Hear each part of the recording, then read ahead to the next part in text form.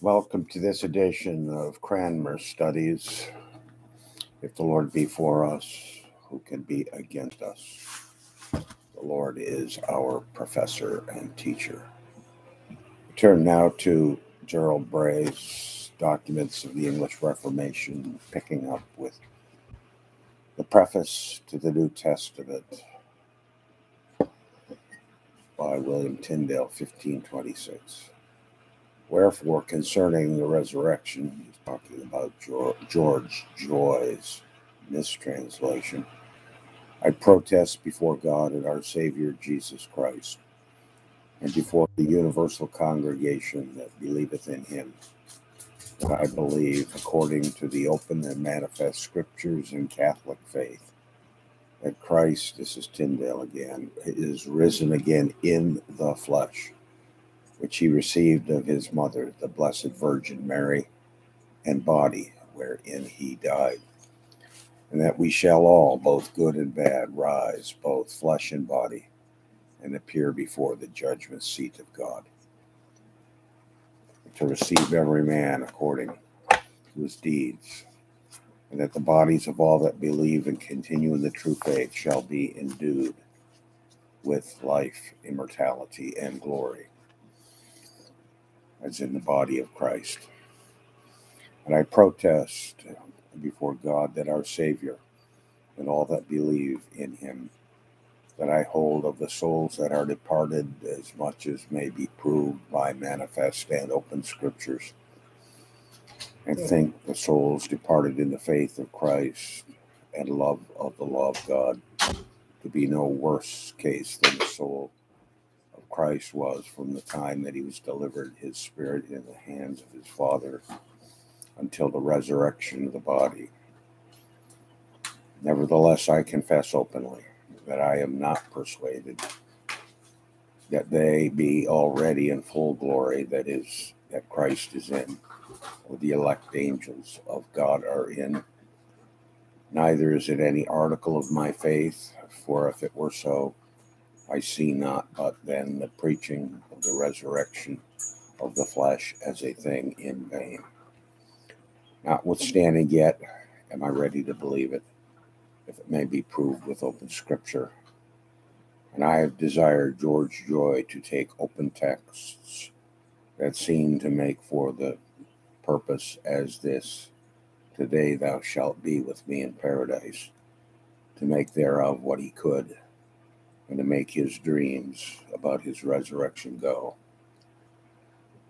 For I receive not in the scripture the private interpretation of any man's brain without open testimony of any scripture agreeing thereto.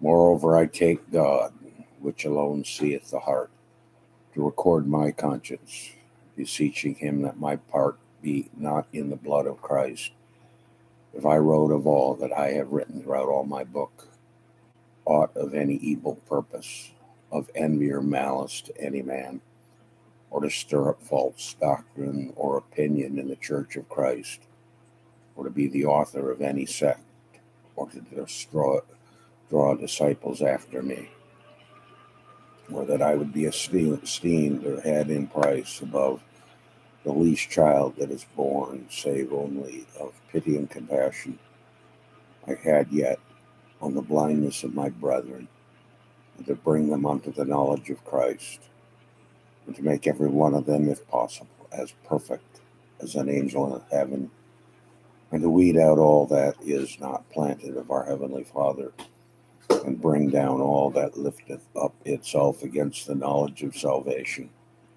that is in the blood of Christ.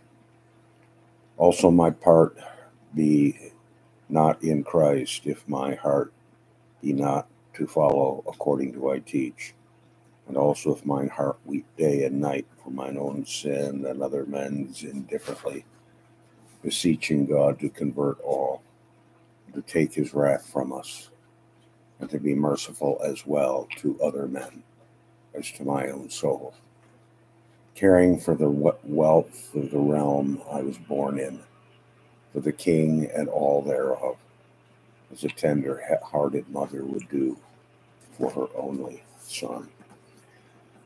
continue reading Tyndale in our next session. We turn to Prophet Philip Edgcumbe Hughes on the theology of the English Reformers. He's talking in this chapter on the value, necessity, importance of preaching and worship. Now, for the properties of a good preacher. What are the properties of a good preacher? As defined by Bishop Hugh Latimer, they are to be a true man, to teach, not dreams nor inventions of men, but viam Dei in veritata, the way of God truly, and to not regard the personage of man. Nor must the faithful preacher expect popularity, but rather opposition and hatred, even death. Latimer wrote King Henry VIII on 1 December 1530 Take this for a sure conclusion that there where the word of God is truly preached, there is persecution, as well of the hearers as of the teachers. This is very early. Cranmer is just a newbie to the royal court. For the world loveth the things that are in the world and hateth things that are contrary to it. All the holy scripture doth promise nothing to the favorers and followers of it in this world, but trouble, vexation, and persecution. There's Latimer very early. In one of the sermons, we are pointed to the examples of John the Baptist and Christ, his apostles. But I pray you, what thanks had they for their calling or for their labor? Verily, this John was beheaded, Christ was crucified, the apostles were killed. This was their reward for their labors. So all the preachers shall look for none other reward for no doubt they must be sufferers. They must taste of these sauces. Their office is arguere mundum de peccato, to rebuke the world of sin, which no doubt is a thankless occupation. But, Latimer goes on, they must spare nobody. They must rebuke high and low when they do amiss. They must strike them with the sword of God's word, which no doubt is a thankless occupation. Yet it must be done, for God will have it to be done. Well, that's something that they don't teach in pastoral theology classes, or Tim Keller would advocate in his peaceful, winsome way, his effort to be kind and charitable to the deniers and haters of God. Again, when preaching on the Christian armor, Exodus 6.10 and following, Latimer says of Paul, Now when he had done, he set out all his mind. At the last he comes and desires them to pray for him, but for what? Not to get a fat benefice or bishopric. No, no, St. Paul was not a hunter for benefices he saith, Pray that I might have utterance and boldness to speak. For when a preacher's mouth is stopped, so that he dare not rebuke sin and wickedness, no doubt he is meet for his office. Pilkington also emphasizes the need for outspokenness from the pulpit without respect of persons when expounding Haggai 112 the preacher, Pilkington says, must not be afraid to rebuke sin in all sorts and degrees of men, as here Haggai did rebuke both Zerubbabel, the chief ruler of the commonwealth, and Joshua, the high priest, chief in religion, and also the whole people outside, and threatens plagues indifferently to all, without any flattery or respect of person. For as God, a most righteous judge, will punish all sins, so must preachers indifferently warn and rebuke all sorts of sinners. If they perish without warning, as Ezekiel saith. Well, that's quite the word from the English reformers. We're in Margot Johnson's Thomas Cranmer with Hugh Bates, giving us some of the bit of a wonky liturgical story on Cranmer. And he's talked about some of the manual actions. The maniple, that's something that's worn on the wrist, worn by the priest, recalls the ropes with which the knights did bind our Saviour's hand, and the stole, the rope with which his tormentors drew his body to the cross, and so on. The symbolism is disconnected arbitrary, and to our way of thinking, quite inconsequential. The modern worshiper would find it impossible to use. Its value may be readily appreciated for someone who'd been brought up on the code. The general theme of the tract is set by the opening words The priest going to Mass signifieth and representeth our Saviour of all the world, our most sweet Redeemer, Christ Jesus, which came from heaven to the valley of misery, this wretched world, to suffer passion for man's redemption. And therefore, the process of the Mass represented the very process of the passion of Christ. The recurring notes are remember, have meditation, consider, let us have before our eyes the worshiper is able to participate in the Mass by way of the series of acts of faith and recollection, will not have spent his time in vain.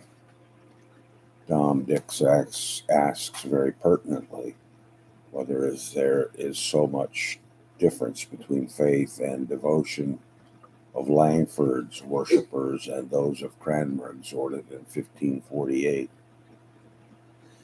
above all things, to genuine, most humble, and hearty thanks for the redemption of the world by the death and passion of our Savior Christ, both God and man, who did humble himself even to death upon the cross for us miserable sinners, lying in darkness and the shadow of death, that he might make us children of God and exalt us to everlasting life. If we concede Dom Dixon's point, there is no radical difference between the devotional ethos of the worshippers of the old Latin Mass and those who gathered around the Lord's table in 1552. Cranmer, moreover, demanded no change, and it probably never occurred to him that he might do so.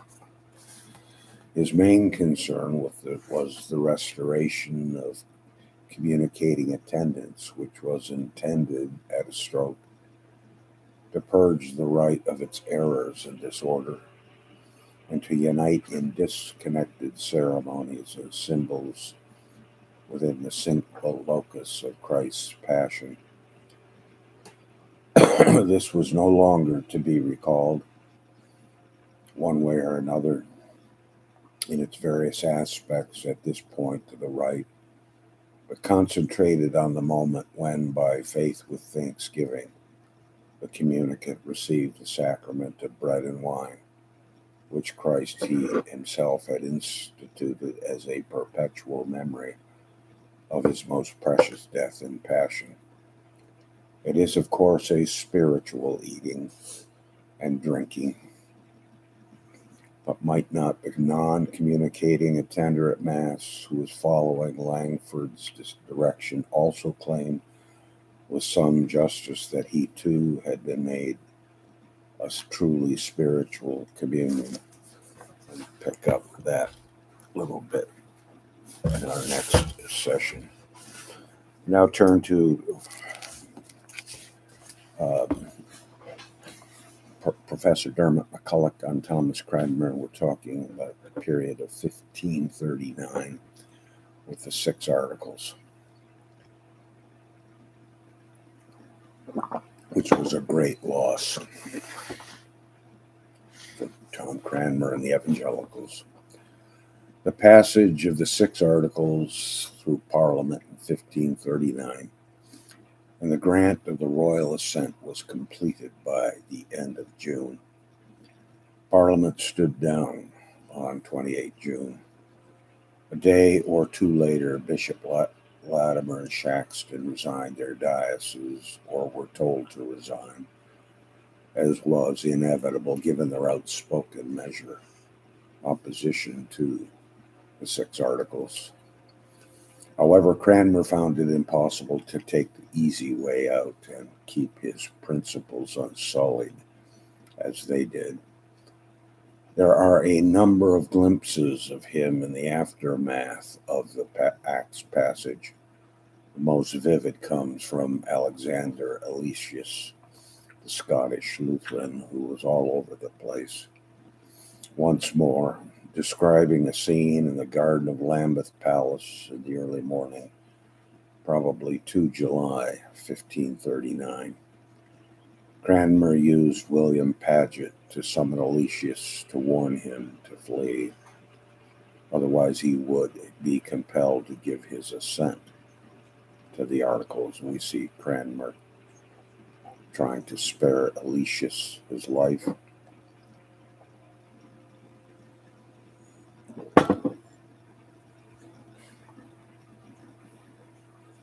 Why didn't Cranmer resign like Shaxton and Latimer? Giving Alesius a souvenir, Wolsey's ring, which the king had given to him. The, archbird, the archbishop unburdened himself of his misery, confusion, and shame, and this will give us an insight into Cranmer's mind. Happy man that you are, said he, you can escape. Would that I were at liberty to do the same. Truly, my see would not hold me back. You must make haste to escape before this island may be cut off, unless you are willing to sign the decree as I have done, compelled by fear. For I repent of what I have done. And if I had known that my only punishment would have been deposition from the archbishopric, of a truth I would not have subscribed. He could have done that, like Latimer. He confesses his fear and then confesses that he's absolved, even though he's signed. This is a notorious signature of Thomas Cranmer again and again and again.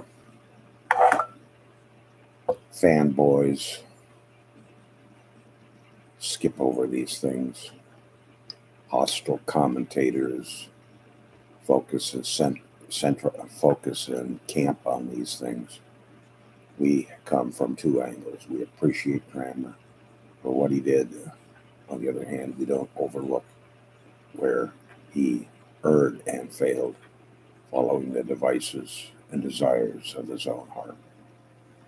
He failed. He confessed that to Alexander Alesius.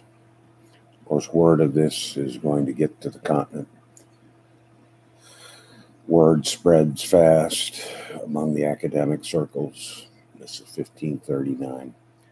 The Lutherans are fully fed up with the English court and Henry and Cromwell. And, and Luther is getting word and reports of these back, stepping backwards. It is a convincingly Cranmerian piece of self incriminating candor. Yet it is not the whole story, and there are more creditable things to be said. What weighed heavily with Cranmer was his sense of indebtedness and loyalty to Henry VIII, the fear of the face of man yet anxieties.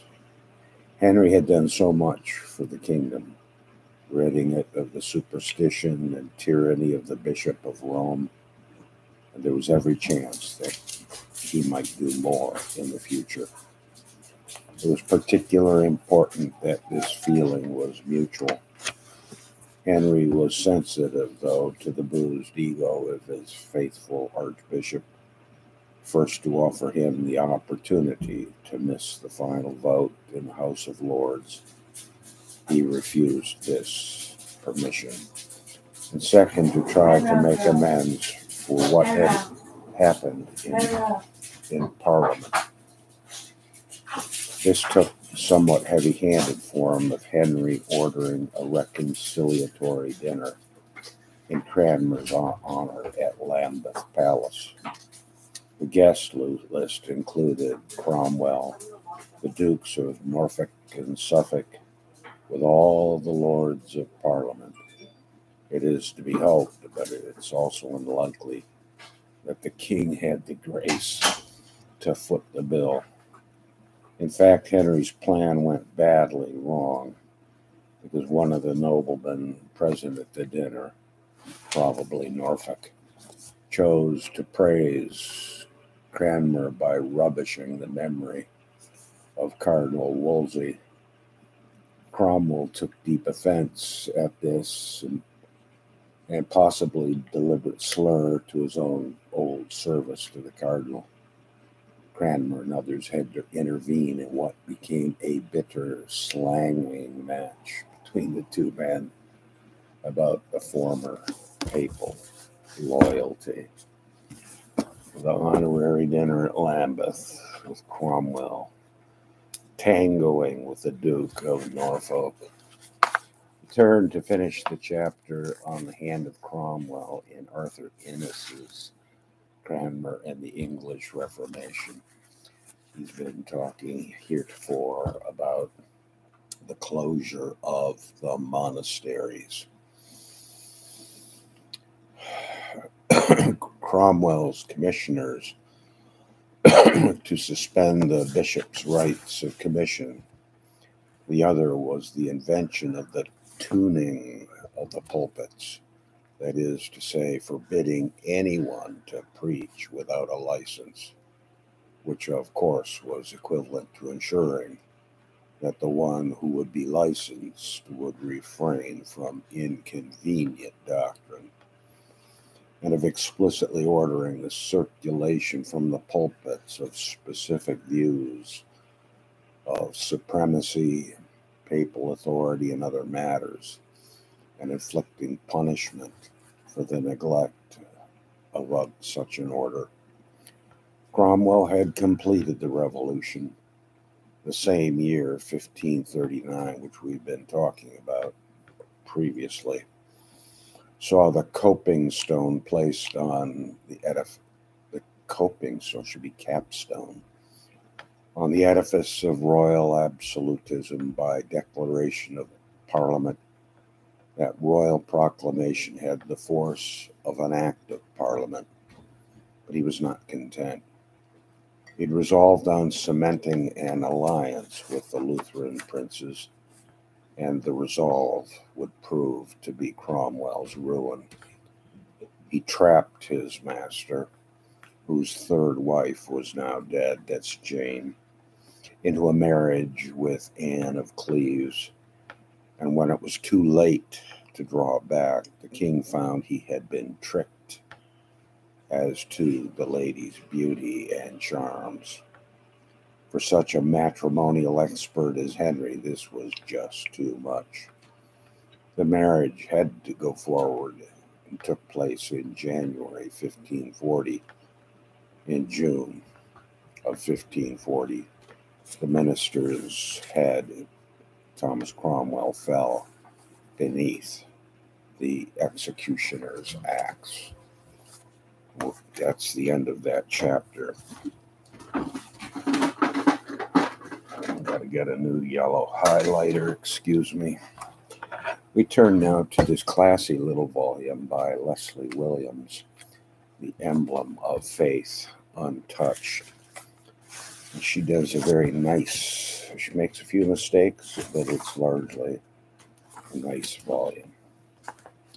Now we, we're shifting around a little bit in time.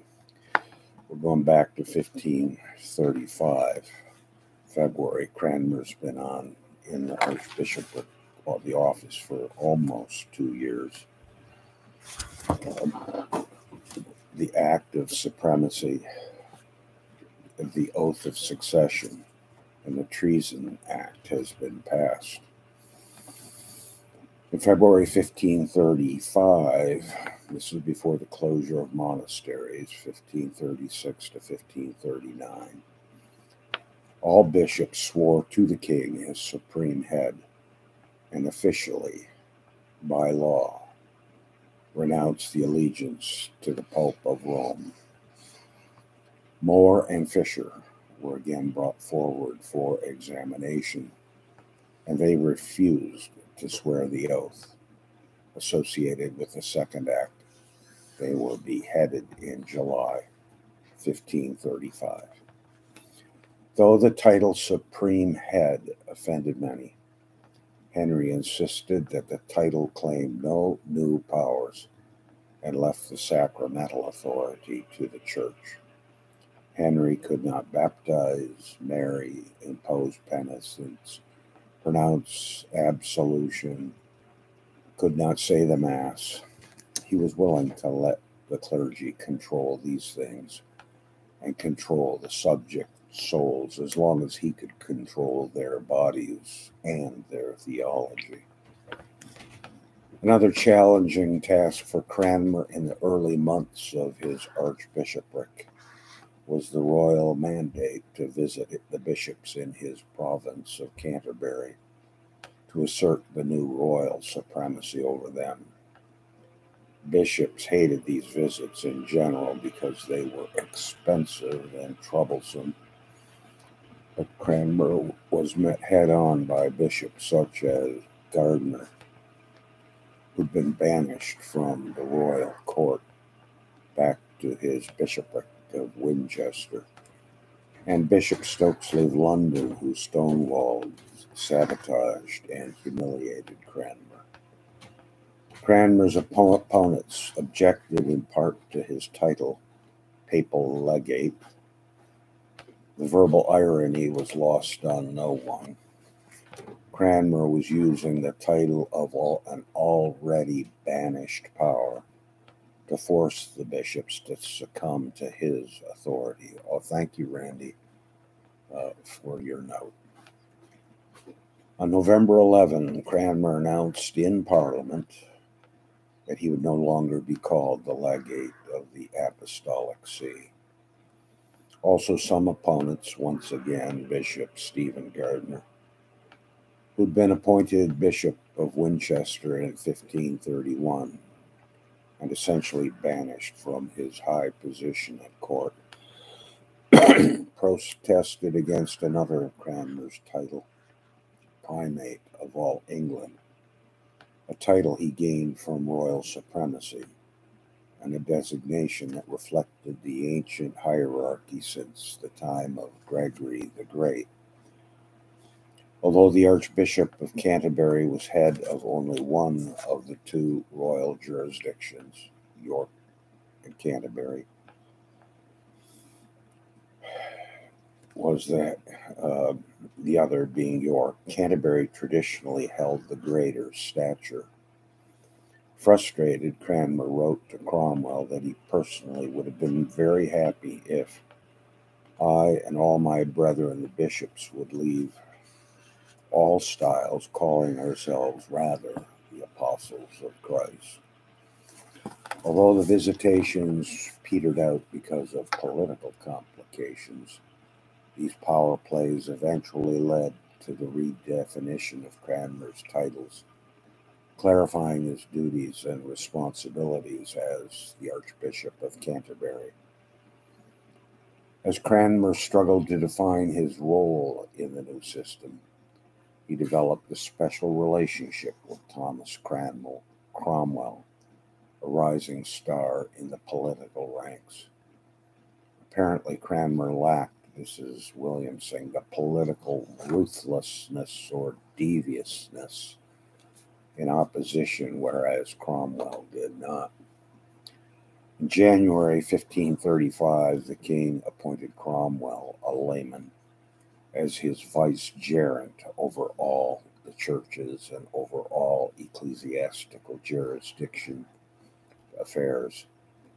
The vicar general was a new and unique position In American terms, he was a rector general over all church matters in England. One of the original motives for this appointment was to bring money into the king's exchequer, which we'll see 1536 to 39 with the closure of 800 monasteries. However, this move also meant that Cranmer was no longer the principal minister in the king's spiritual business because Cromwell now overshadowed both archbishops of Canterbury and York. Cranmer bore no resentment at being demoted. In fact, he was released from the untenable position of being called the English Pope. Henry alone held that claim to fame. Thus, with complementary talents, Cromwell became the strong arm, and Cranmer the theologian. Quote, behind the action of Cromwell, we can see clearly the inspiration and counsel of Cranmer, closed, quote, as they worked together to achieve the spread of evangelical reform throughout England. We turn now to Thomas Cranmer, Paul Ayris with Brian Spinks. A few comments here on liturgy talking about the funeral rites in the Book of Common Prayer. His view was that prayer for the living was alone acceptable in the Reformed rite. This set the theological agenda for the 1552 revision. Following Lutheran and Swiss Reform practice, the whole service was now to take place at the graveside though the procession to the grave with its sentences was retained. Two of the prayers of commendation and all the psalms were removed. The body was committed to the ground, but the soul was no longer commended to God. The introduction to the modified committal, coming from Cranmer's favorite contemporary source, Herman von Wied. The suffrages disappeared, and the final two prayers were rewritten versions of O Lord, with whom do live the spirits, and the collect from the communion. However, the latter is simply entitled the collect, and there are no directions or provisions for a communion service. That has been restored in the Episcopal Church. Both these redrafted prayers are exa- excellent examples of Cranmer's methods of revision, doctrinal changes, and dovetailing prayers, weaving them together th- through the various components. The final prayer, the collect, follows the communion collect of 1549, but then switches to follow one of the suppressed prayers of the committal. However, reference to the departed's resurrection or acceptance are removed, and the whole prayer is concerned with the hope of the living. The antithesis of death, of sin, and life of righteousness is faithfully preserved. Cranmer and the recent liturgical revision in the Church of England, they now have an alternative service book, ASB, 1980. The above surveys of Cranmer's revision of the baptismal and funeral rites in 1549 and 1552 serve to illustrate the general claims made regarding liturgical methods, which can be likened to the prudent householder who brought forth treasures of old and new. Bishop Reynolds did precisely the same thing with the general thanksgiving, redrafting, and earlier Puritan prayer. With the advent of these new liturgical compositions in the Church of England, there have been those who, out of love for the forms of the Book of Common Prayer, have made rather exaggerated claims for Cranmer and have attempted to trivialize the new rites as those of the alternative service book, particularly their language. No serious contemporary English liturgical scholar, there are a few whose training qualifies them to be regarded as such, would deny that thus far we have not produced a happy 20th century liturgical style. It is sometimes forgotten, however, that Cranmer's new treasures were far from perfect and had to be revised and smoothed out by the Restoration Divines of 1661. Enrichment, rubrical, and theological it was also thought necessary.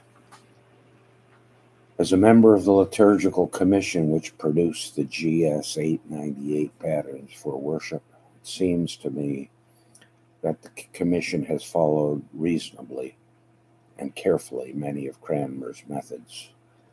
GS 898A expanded acknowledgement and list of sources reveals that Cranmer, that like Cranmer, much of the material has been drawn from existing texts, both Roman Catholic and Protestant, and modified from sources already unofficial but in popular services, and reflecting a 20th century understanding of traditional doctrine. That's a mouthful.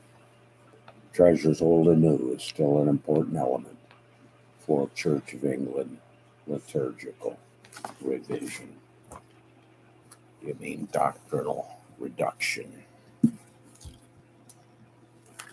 We turn now to Jasper Ridley's Thomas Cranmer, his delightful handy volume, talking about the fall of Cromwell, 1540. We've already alluded to that.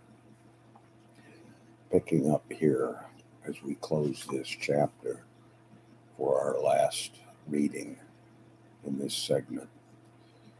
Nor was there any other point at which Cranmer persuaded Henry to make further advance toward the Reformation in the summer of 1540. the six articles had been passed in 1539, which was a major setback. It is therefore clear that Cranmer's victory was a defensive one, and that he persuaded Henry to reject a proposal of the commissioners to issue a document which took a backward step and repudiated some of the doctrines contained in the bishop's book. Perhaps on the issue of justification, he did have a fight with Henry on that 1538, 1539, 1540. He was substantially Lutheranized, Cranmer, that is, at that date. It was a great achievement for Cranmer to succeed in maintaining during the crisis of 1540 so many of the gains of 1536 and 37. And he had, as usual, performed his duty in giving his honest advice to the king, even though his advice was often unwelcome. On this occasion, however, his advice was accepted. If it had been rejected, Cranmer would have obeyed Henry's decision and enforced it. Again, the lapdog theory of Cranmer. For all his stiff standing to his tackle, to which Foxe refers in his conducts, context, Cranmer subscribed to transubstantiation in the King's Book, as he had subscribed to the six articles and punished those who defied the book. Cranmer survived the crisis of the summer of 1540 only because of the protection which Henry always extended to him. As with most other events in Cranmer's life, Henry's constant support had been interpreted both favorably and unfavorably to Cranmer.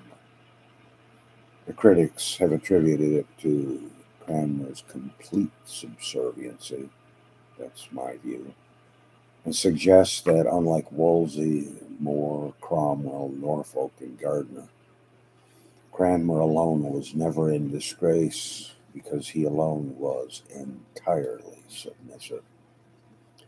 The admirers of Cranmer believe that it was due to Cranmer's outstanding virtues which compelled even Henry, for all of his vices, to recognize that Cranmer was a better man than himself and to love him in consequence. And that view is also held here. He was compliant, complacent, submissive. It was realpolitik. And Henry yet still loved him for his otherwise outstanding virtues. So it's both and. Both of these explanations must be rejected, says Jasper Ridley. Far from being subservient, Cranmer, for all his unquestioning loyalty to Henry and the principles of absolute monarchy, was less subservient than most of Henry's subjects. It's equally difficult to accept the alternative explanation of the sinful Henry being moved to appreciate the virtues of Cranmer. Some 15 years before, when Henry had walked in the garden with Thomas More, with his arm around his neck, More, More told his friends that Henry would cut off his head without hesitation if this would win him a castle in France. In 1540, Henry would have cut off Cranmer's head, probably have burned him, if he could have obtained any advantage in doing so. He retained Cranmer as archbishop, while he had no use for the outspoken reformers like Barnes and Latimer. It was advantageous to have Cranmer in the council and convocation as a counterbalance to the power of Gardiner and Norfolk, and as an advocate of modern Reformation, who would be useful if Henry in the future decided on further advance in this direction. Cranmer remained in office not because he was exceptionally subservient but because he was a learned reformer who was sufficiently subservient to make it possible for Henry to retain his services. We don't quite buy that, but let us close. If the Lord be for us, who can be against us? Who will lay anything to the charge of God's elect? It is God who justifies. Glory be to the Father, to the Son, and to the Holy Ghost, as it was in the beginning, is now, and ever shall be, world without end. Amen. We'll be back later today. Godspeed.